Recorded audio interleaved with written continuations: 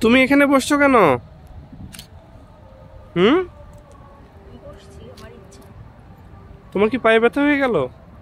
আমরা তো মাত্র ঢুকলাম। অনেক সুন্দর না? অনেক সুন্দর।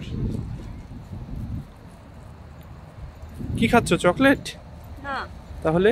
খালি গলা হচ্ছে কাশি মানে লবঙ্গ? হ্যাঁ লবঙ্গ।